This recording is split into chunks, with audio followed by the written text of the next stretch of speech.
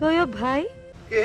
কেমন আছেন? অনেকদিন পরে দেখা সাক্ষাৎ। চিনছেন কিনা জানি না। ভালো করে নজর করে দেখে আরে তুমি? তুমি এখানে কেমনে আসলা? সোবান সাহেবের তো কোনো সন্তানাদি নাই। উনি উনি আমার গোপনে শাদি করে আনছে বলো কি? ঘটনা কাউরে কইন না। গোপন আছে। উনার তো সামনে ইলেকশন।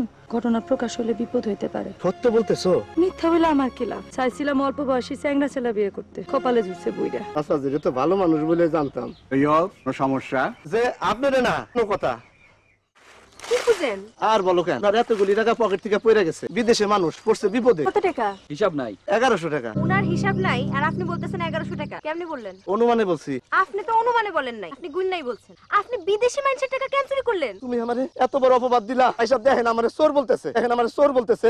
শুনেন তো ইয়ব ভাই আপনি যদি এখন ওনার টাকা ফেরত না দেন আমি কিন্তু আপনার গানের দল থেকে বাইর করে দেব আমি কই টাকা পাবো? দেখো টাকা আছে কিনা? আপনার সাথেই আছে। এখন ফেরত দেন। টাকা কখন নিছি? ইয়াদ নাই। কইলাম না বে ভুললা মানুষ সব কিছু ভুললা যায়। মেয়া মানুষ হলো দুনিয়ার ভেজাল্লা সেই জন্য বিবাহ করি না। খবর কিছু শুনছেন উস্তাদ? কি খবর? বদলুল তো তার স্ত্রীরে তিন তালাক দিয়া বসে আছে। আহারে হাসি খুশি একটা মেয়ে। হাসি খুশির দিন শেষ এখন নাকের পানি আর চোখের পানি। উস্তাদ আপনার সাথে একটা পরামর্শ। আমি যদি বদরুলের তালাক দই স্ত্রীর বিবাহের প্রস্তাব দেই কেমন হয়? আমার কপালে তো বিধবা তালাক পাওয়া মেয়ে ছাড়া উপায় নাই। সংসারও তো করা দরকার। বৈদেশিক কি বলেন? স্ত্রীকে কি খাওয়াবেন? কি খাওয়াবো সেটা আমার বিবেচনা। বিয়ে করে আপনার তো বলব না আমার স্ত্রীরে ভাত খাওয়ান। আপনি নিজেই তো পরের বাড়িতে খান। এইটা আমার পরের বাড়ি। এইটা নাকি আমার পরের বাড়ি। ধর ভাতই খাব না। খালি আপনি বলতেছেন দেখা খাইতেছি। বিবাহের তারিখ হয়েছে এই মাসের চার তারিখ বিবাহ। জামাই আসবে ঘোরাই চলে ছিল কার সাথে? বিবাহ হইতেছে কার সাথে? জগতের লীলা বোঝা ভার। তো ভাই শুনেন আপনার সাথে কোনোদিনও কারোর ছিল না। ছিল না? না।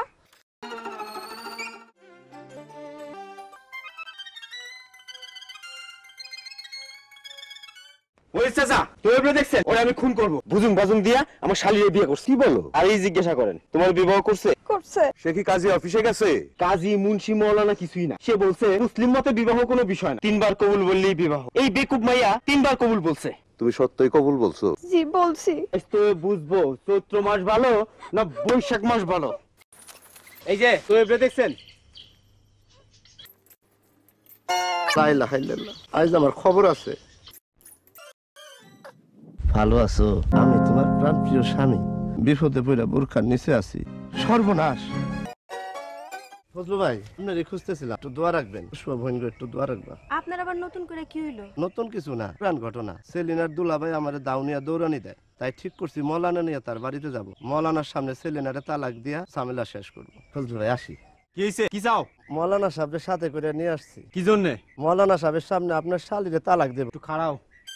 সেলিনা বেগম ভালো আছো? আমার আজ খুব সুন্দর লাগতেছে। আজ ইচ্ছা হইল বিয়া করলাম কাল তালাক দিলাম। আমার সাথে ফাইজলামি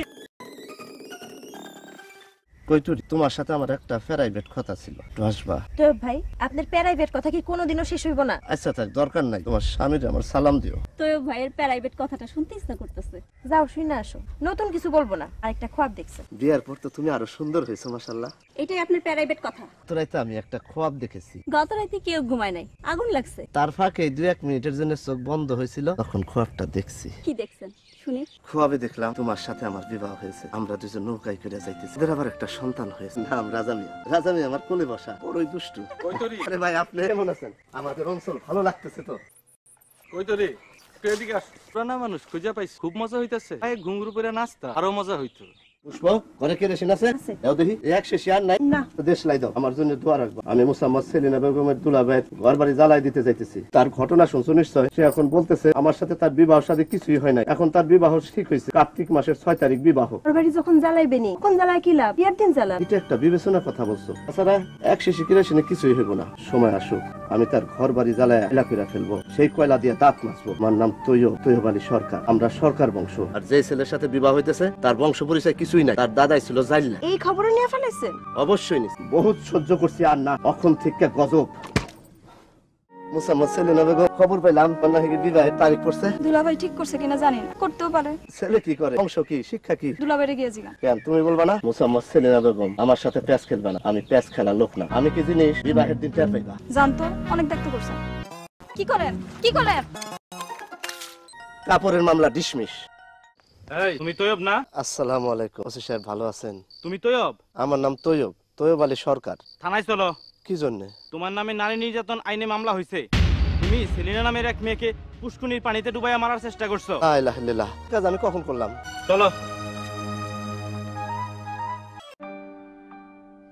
তৈব ভাই ওঠেন। ওই দিশে আসছে। এই দেখেন আমার মায়ের কি করছে। দুই দিন পর যাইতেছি লন্ডনে। শৈলের এই অবস্থা। আপনার জন্য জামা কাপড় নিয়ে এসেছি। আবার টুপি আনছেন। চশমা- চশমা আমি সিদ্ধান্ত নিয়েছি এই পোশাক পরে সেলিনা বেগমের বিয়াতে সামিল হব। সেলিনা বেগমের বিয়ে নাকি? হঠাৎ ঠিক হয়েছে ছেলে সৌদিতে বাবুর্চির কাজ করে। এখন সেলিনা বেগম আমার চিনে না। একটা সিগারেট দেন। ওসি সাহেব দুই কাপ কফি। ঠান্ডা হলে খবর আছে।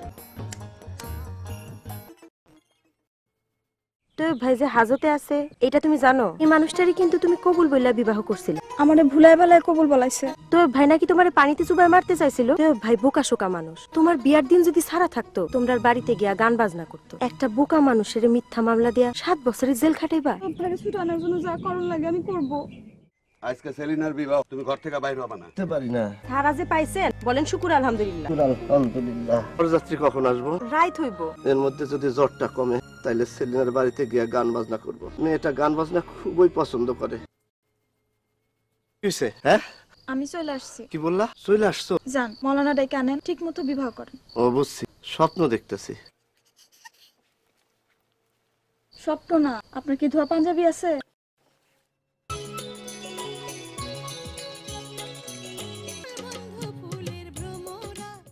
করে এক বিপদে পড়ছি। আগে কত ভালো ছিলাম কত সুখে দিন কাটাইতাম। আমার পরিবার আমার কোনো কথাই বিশ্বাস করে না। সত্য বলল বিশ্বাস করে না মিথ্যা বলল বিশ্বাস করে না। বিয়ার আগে তার মুখে ছিল মধুর হাসি। এখন সে হয়েছে ক্যাটকেটানির মা বৈদেশি। আমার ঘরে যেতে হইব। আমার আবার বেশিক্ষণ বাইরে থাকা নিষেধ। সেভাবে আমি করতেছি। আমি যাই। দেরি কি জন্য হয়েছে কোনো ঘটনা। বৈদেশি এসে উপস্থিত। পুষ্পের জন্য আনছে শাড়ি। আবার মিথ্যা কথা? যাও কিছুই আনে নাই খালি হাতে আসছে। আর সেও আসছে একটা গামছা কোমরে পেঁচায় এবার বিশ্বাস হয়? দুধ তরি ছাতা। এখন থেকে কথাই বলব না।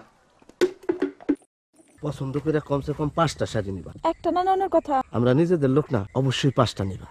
ভালো শাড়ি তো সবই চলে গেছে। একটা নাও সবগুলো তুমি নিয়ে গেলে অন্যরা কি পাইবো? এত বড় কথা আপনি বলতে পারলেন উস্তাজি আমাদের বংশের একটা ইজ্জত আছে আমরা সরকার বংশ। আসো। একটা জিনিস ইয়াদ রাখবা আমি অতি উচ্চ বংশের সন্তান আমরা দুইজন এখন উচ্চ বংশের মানুষ আমরা দুইজন উচ্চ বংশের মানুষ হইয়া ফকিরের মতো শাড়ি ভিক্ষা নেই কেমনে আপনি থাকেন আপনার বংশ নিয়ে আমি গেলাম আমার শাড়ি আনতে ফকির নি কয় কি শোনো শোনো শোনো শোনো সত্যি যখন যাইতেছো লাল শাড়ি আনবা লাল রঙে তোমার ভালো দেখায় দেখি একটা পিঠা আপনার এ কি অবস্থা? সারা প্যাক কাটা তোমার কোনো অসুবিধা আছে? আপনার প্যাকে কে চুবাইছে? এত বড় কথা তুমি আমারে বললা। আমার স্ত্রী হয়ে তুমি বললা আমারে প্যাকে কে চুবাইছে? আমারে প্যাকে চুবাইতে পারে। এমন কেউ আছে? বলো আছে? বলো আছে? আছে। দৌড় সাতার পিঠাই খাব না।